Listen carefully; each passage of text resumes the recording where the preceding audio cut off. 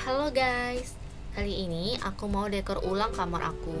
Hampir setahun lamanya masih dengan suasana yang lama, jadi bikin aku bosan. Di sini aku udah lepasin semua barang-barang yang gak aku perlukan lagi. Dekor kali ini akan berbeda dari yang sebelumnya. Kalau yang kemarin dekorasi yang simple, kali ini aku pengen dekor yang agak heboh.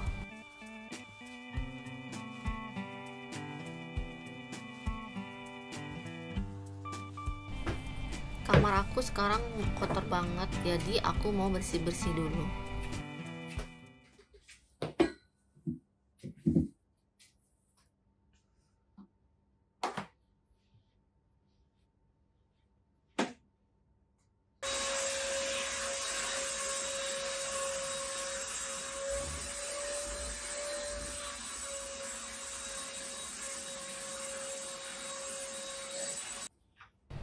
Pertama aku mau ganti gorden dulu dibantu oleh pak suami.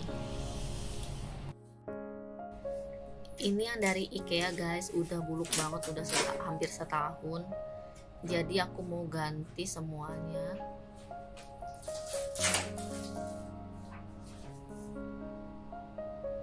Dengan fitrase ini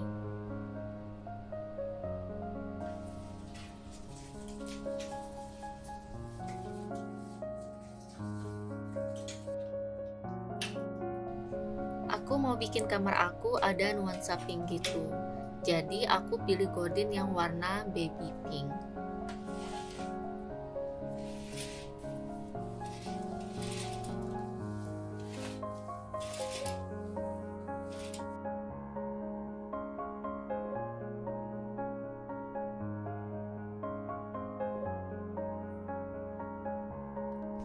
Nah ini lampu awan aku nemu di Shopee kelihatan bagus jadi aku mau coba. Karena malas ngebor dinding jadi aku pakai pengait tempel untuk masangnya. Untuk yang aksesoris kecilnya aku pakai double tip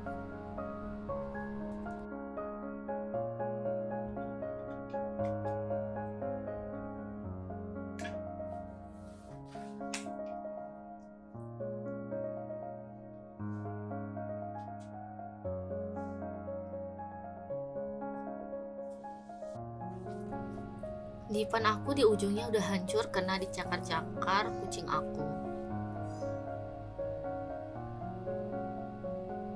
Nih pelakunya. Tampangnya kayak gak ada merasa bersalah gitu.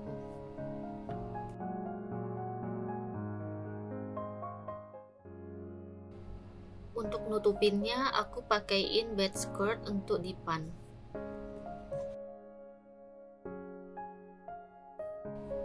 Awalnya aku kira salah pilih ukuran untuk bed skirtnya. Ternyata aku salah pasang. Sebelum pasang spray, aku pasang pelindung kasur terlebih dahulu. Kemudian baru deh aku pasang spraynya. Di video terlihat warnanya peach, tapi aslinya warnanya baby pink. Karena kami suka nyender di dinding, jadinya bikin dinding kotor. Jadi aku siasati pakai sandaran kasur. Warnanya ada dua, jadi bisa dibalik itu untuk ganti-ganti. Kali ini aku akan pilih warna putih yang di depan. Aku nambah dua bantal tidur lagi karena aku suka kalau ada banyak bantal.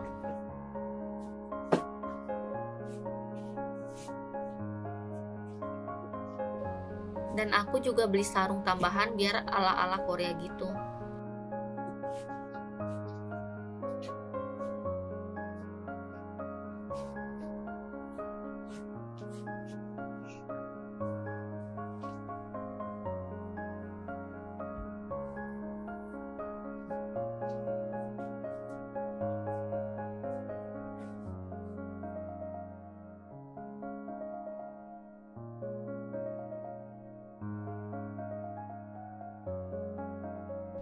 Untuk selimut, aku cari yang selimut bulu gitu.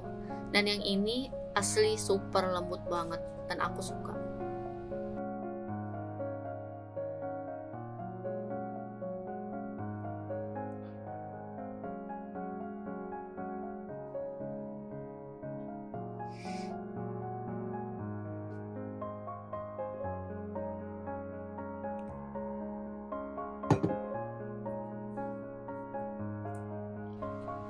Untuk hiasan di atas meja nakas, aku pakai lampu ranting.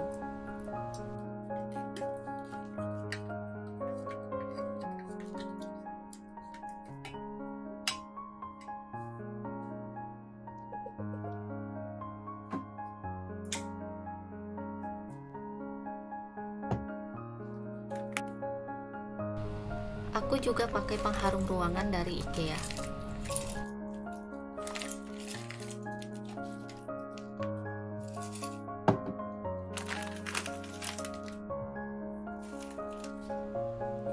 Next, dekorasi meja kerja dan belajar.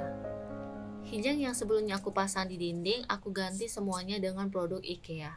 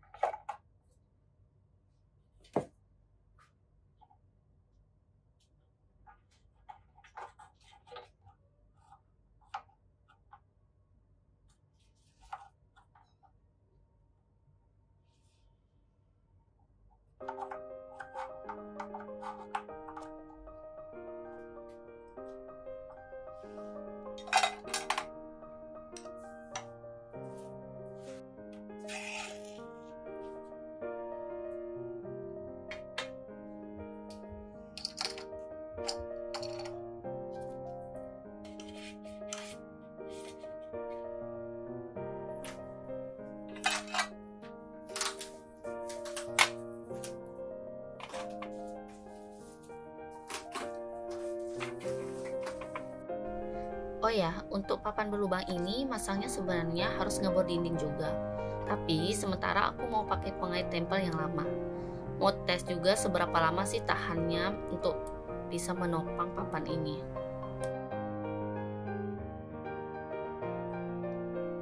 Kemudian aku lanjut menghiasi rak dinding.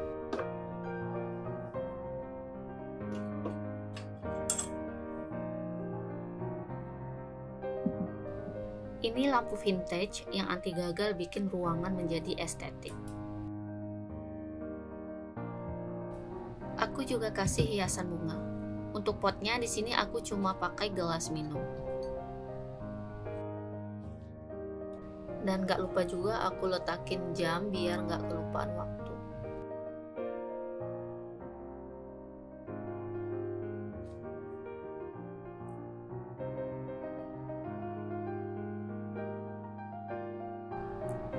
Sebelumnya di sudut ini aku letakin bunga kering, tapi kali ini aku akan pakai untuk rak buku.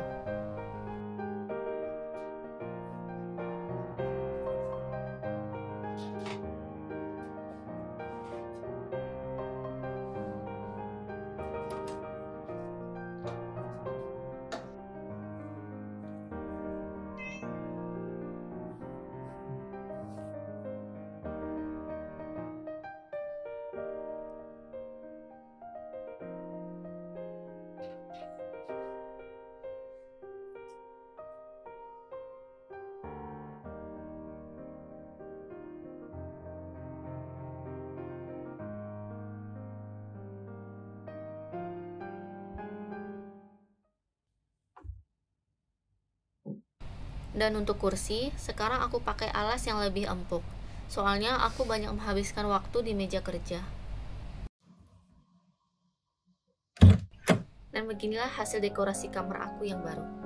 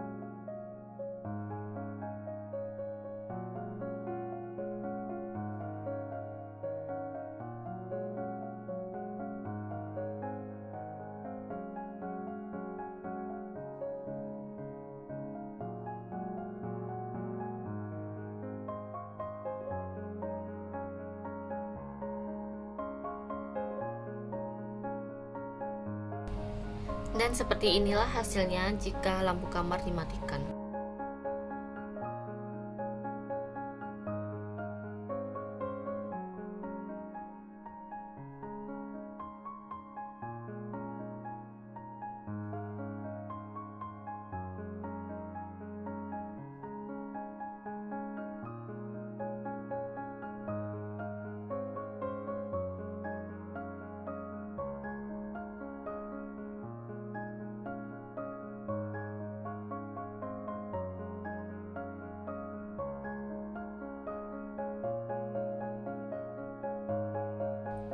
This is the end of this video. Thank you for watching.